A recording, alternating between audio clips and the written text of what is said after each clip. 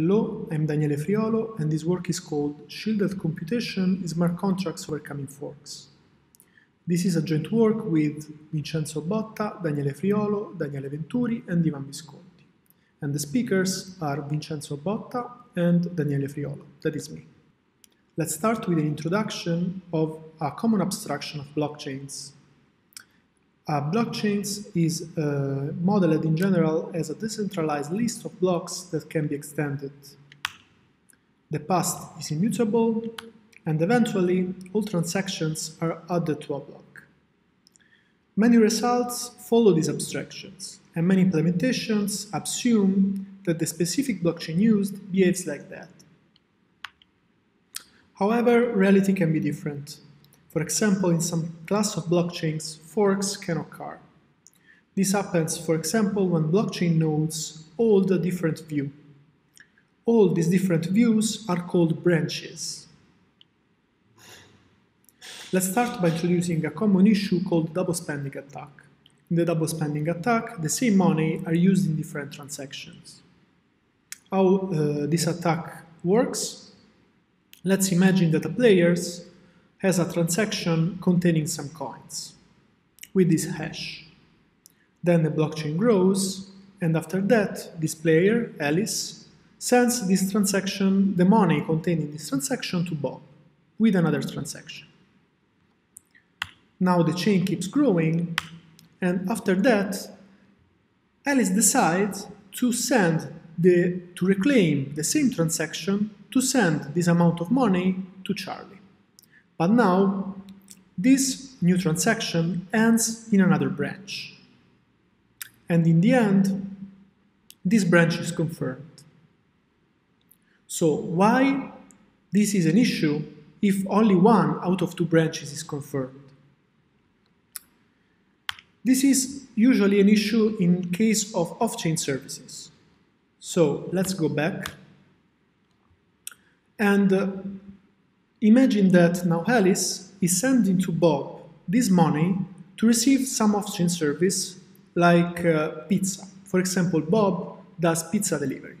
So Alice sends this money to Bob, she receives the pizza from Bob, and then she sends another transaction to Charlie, and Charlie does wine delivery, for example.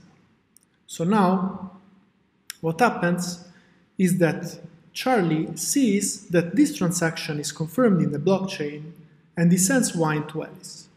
So Alice can have two services at the price of one. So the classic solution to this issue is to wait until the associated transaction is confirmed on the blockchain. Unfortunately, this leads to huge delays. If, if we think to Bitcoin, for example, uh, Bob should wait at least one hour before sending the pizza to Alice. So our question now is, what happens instead if there is no off-chain impact when sending transactions? Only one out of the two or many branches will be confirmed, so for simple smart contract, the issue seems to be solved. But what about the security of protocols running through stateful smart contracts? By this we mean that when a player is interacting with another player, now he uses the blockchain to send these messages. So a player sends these messages uh, via a smart contract. Moreover, in, uh, in our scenario, participating, participating players are hasty. By hasty, we mean that players does not wait for transaction confirmation after seeing a message from the other player in such a smart contract. Let's imagine now that an honest player uh, sends a new smart contract to the blockchain. And this smart contract has state 1. After that, the blockchain grows. Let's imagine now that an adversary send, uh, sends a new input to this smart contract, leading to a new state, let's say state 2. And together with this, the adversary also uh, sends a new transaction, updating the state, updating state 1 with a new input, let's say state 2, and the adversary is lucky, and this transaction ends in another branch. So now, what happens if this transaction ends alone in the new branch, then it will be discarded because it refers to a non-existing smart contract in such a branch.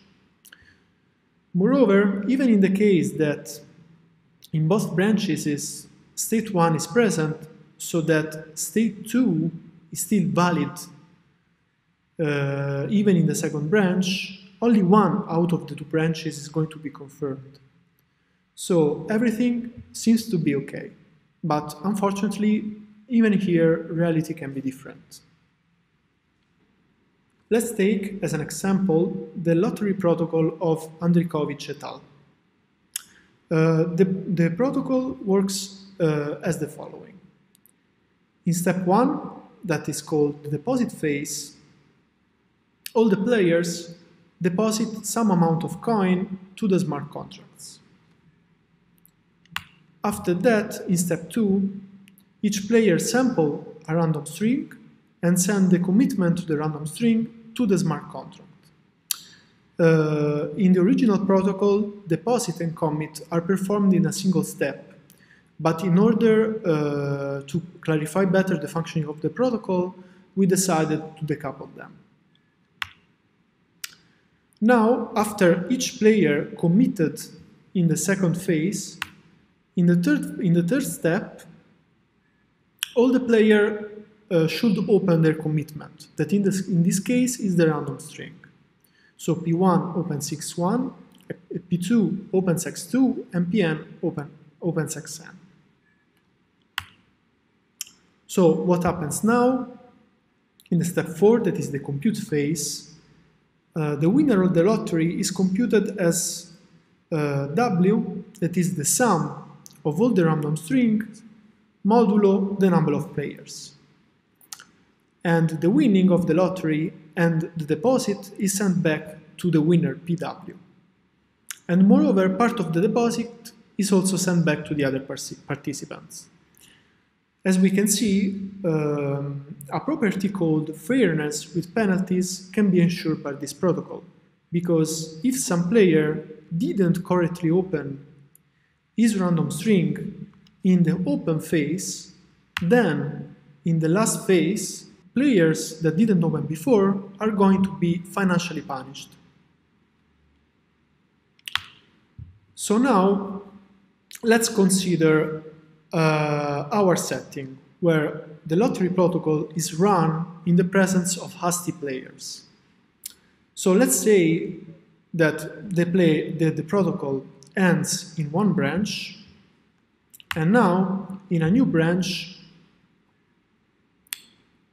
after a fork occurred, um, the, the state in the current branch only contains the commitment of player 1 and player 2. So now the hasty players uh, have to replay in this branch uh, the commitment of their own random string that they played in the other branch. And after that, they also have to reopen the same random string. So now, as we can see, uh, there is an issue here. In fact, uh, if a player, let's say Pn, decides to play another random string x prime n different from xn, then the winner in this branch will be different, will be uh, w prime. So now, uh, what an adversary can easily do is to generate a value x prime n such that the winner w is him, is its index. So, as we saw, the, the previous protocol becomes insecure in the presence of, cores, of forks. But we have good news. By using cryptographic tools, we can produce an efficient protocol that generates a random string in the presence of hasty players. That's what we want. So in our solution, the contribution of the coin tossing protocol of each player PI depends on the identifier of the other players and some more blockchain-related information. If an adversary changes its input, then all honest parties will, change their inputs too. Let's start the introduction of our protocol with the threat model. So, in our threat model, the protocol adversary can corrupt up to n-1 players.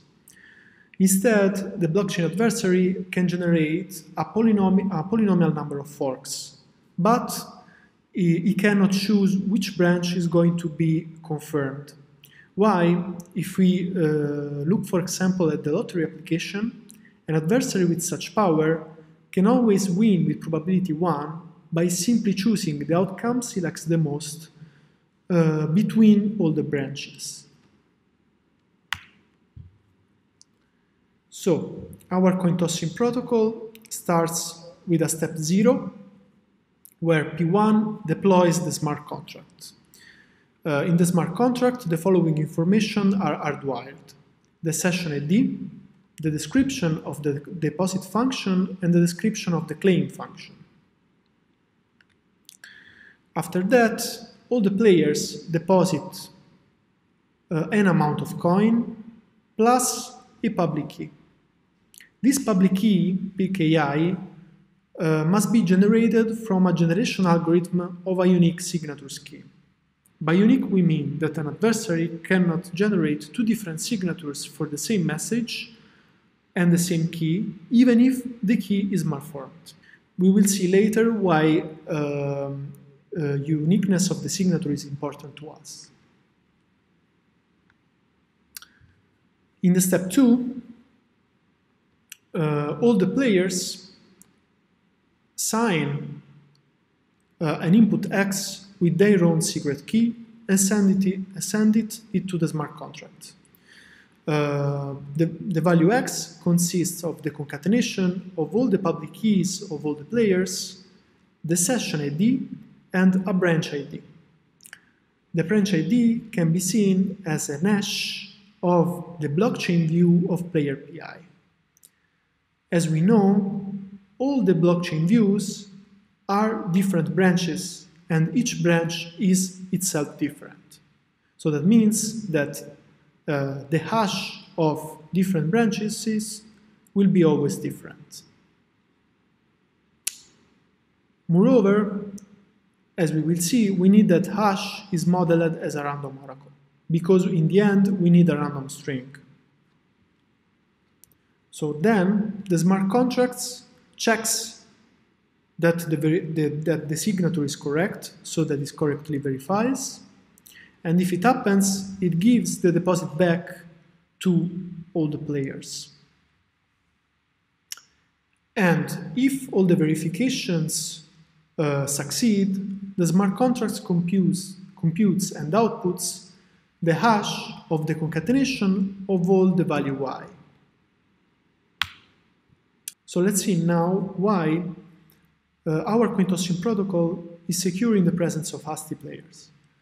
The branch ID ensures that a corrupted player cannot adaptively bias the output. Why? Let's imagine this scenario. First, in a, in a branch, the adversary sees the outcome of, of the coin tossing. After that, in order to uh, uh, bias the output to another output of, of his choice, he has to provide a branch ID that depends on the new branch that is where he's going to uh, post the, his signature. But as we know, this branch ID will depend on of the, uh, of the hash of such a branch. So uh, it will be independent of the old outcome, of the outcome of the other branch. Moreover, our parallel coin tossing protocol can produce an unbiased large random string even when adversary has the power on choosing the branch. Why? Because since the number of branches that an adversary can generate is polynomial, and in the case where these large random strings is needed, for example, as a common random string for a protocol, um, and the number of branches, so the number of outcomes is polynomial, is uh, the probability that the string that the adversary needs in order to cheat in some protocol that use such string as a CRS is negligible. Because, because he has only a polynomial number of, uh, um, of branches that he can uh, produce. At last, as we show in our experiments of the Ethereum Ropsten testnet, running our PCT protocol is not too much expensive with respect of a smart contract implementation of the lottery. Okay, as we can see in this graph, we uh, compared our PCT with lottery. Um, we remark that in the lottery protocol, we only consider the deposit and the uh, redeem function, the claim function, and not the compute function because uh, it's not considered in the coin tossing protocol. Um, the unique signatures are implemented with BLS, with a smart contract in particular implementing BLS. And as, we, as I told before, the difference is not too much. And as we can see, a single player, for a single player, it's sufficient 1 million on gas to compute uh, a random string with our protocol. Hello, I'm Vincenzo Botta, and now I'm going to present a general compiler that starting from an MPC protocol, generates an equivalent protocol that, runs completely on blockchains. The output of the compiler is the following blockchain-aided MPC protocol Pi prime. To simulate the private channel of the original protocol Pi, in Pi prime the messages are encrypted using a public key encryption scheme. For each party PI and the original protocol, uh, we define an equivalent party PI prime in Pi prime. For each message MIJ uh, from party PI to party PJ in uh, the original protocol, um, the, the, party PI prime uh, will encrypt MIJ, obtaining an encrypted version CIJ, and publish CIJ to the blockchain. At this point, party PJ prime can download uh, from the blockchain the transaction containing CIJ, and using the associated private key, will decrypt CIJ, obtaining MIJ. Now PJ can perform the same computation over MJ um, before publishing the next message over the blockchain. Let's analyze the security of our compiler. Let's consider the case of an adversary PI prime that is hasty in the sense that we described before. In this case, PI prime will publish a ciphertext CIJ over a branch B1 of the blockchain. After a while, PI Prime noticed that there is a branch B2 and she decided to exploit this new branch to publish a different ciphertext CI prime, CIJ prime to obtain some advantages in the execution of the protocol. At this point, if an honest, if an honest, if an honest party PJ prime see both branches B1 and B2, she is able to detect that PJ prime, PI prime misbehaves publishing two different ciphertexts, CIJ and CIJ prime, in the two different branches. In this case, PJ prime will abort the execution of the protocol. In our work, we are interested in obtaining protocols that achieve fairness through penalties. To obtain this property, in, the case of the general compiler, we refer to the works of Bentov and Kumaresan in 2014. Let's say that f is a function computed by an MPC protocol. In the technique of Bentov and Kumaresan, the MPC protocol computes a function f prime on input x1 xn, and f prime will output the following data to each party pi. A share yi of the output y of uh, f x1 xn, and a list c of commitments, where each commitment in the list is the commitment of a share. We notice that each party PI that participates to the protocol will receive the same list C. At this point, only if, if all parties open the commitment of, the, of their share, all, them, all of, the, of the player will obtain the output of the protocol. To achieve fairness with penalties in our generic compiler, players compute f prime um, obtaining back a share yi and uh, the list c. Each player PI sends C together with the deposit uh, to the smart contract. Since each party should have the same C, if one of the party uh, sends the, to the smart contract a different value C prime, uh, the smart contract will abort the execution. At last, each party PI opens his commitment in C and publishes the opening on the blockchain. If all parties open their commitment, the output can be reconstructed. If a party PJ uh, doesn't open com his commitment or send a wrong open, the smart contract will, will financially punish PJ. In, uh, it can be happen freezing the deposit. We notice that the confirmation of step 2 is inherent to avoid that the adversary uh, can uh, perform the following attack. Let's see that the adversary learns the output on a branch B1 and then aborts the execution in another branch B2 before step 2. If uh, branch 2 will be confirmed, the adversary will not be uh, punished, so uh, the protocol cannot achieve uh, fairness to penalties. In this talk, we show that, beyond double spending attack, other privacy and security issues can affect protocols running on chains. We propose the case of lottery protocol, but there exist other MPC protocols implemented via smart contracts that became insecure in the presence of forks and hasty layers. At last, we have shown smart contracts uh, that executes MPC protocols on chains that remain secure even when there are forks and player can, uh, can be hasty.